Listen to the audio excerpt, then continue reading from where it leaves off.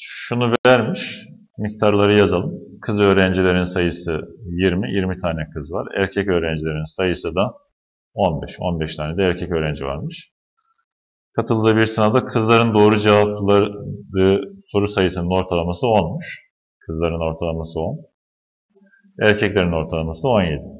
Şimdi bunu şöyle düşünebiliriz. Her kız 10 soru bilmiş, 10 soru doğru cevaplamış. Kızlar da şey, erkekler 17, kızlar da 10 soru doğru cevaplamış diye düşünebiliriz.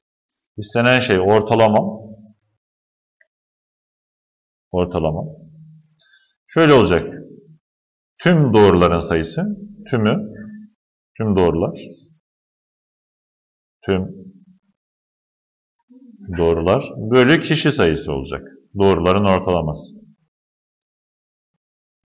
Şimdi tüm doğrular kızların doğruları ve erkeklerin doğruları olacak. Kızların ortalama 10 doğrusu var. 20 tane kız 20 çarpı 10 tane doğrusu olacak. Erkeklerin 15 kişiler her birinin 17 doğrusu var. 15 çarpı 17 tane doğrular olur.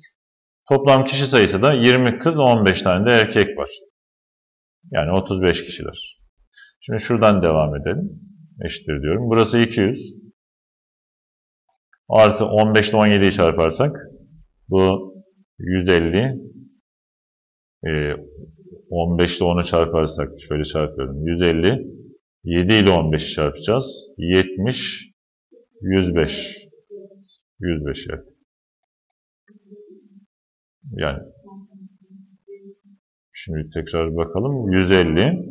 7 ile e, 10'u çarptım. 70. 35. 105. Tamam. Bölü 35. Şimdi tümünü toplayalım. Burası 200, 300, 455 bölü 35. Sadeleştirelim. 5'e bölüyorum. 7. Bu 5'e bölünse. Şimdi 9, 91. Şimdi 91 bölü 7 oldu. 91'i de 7'ye bölersek o da 13 olacak sanırım. 10, 13 olur hep. 91 bölü 7 o da eşittir 13 olur.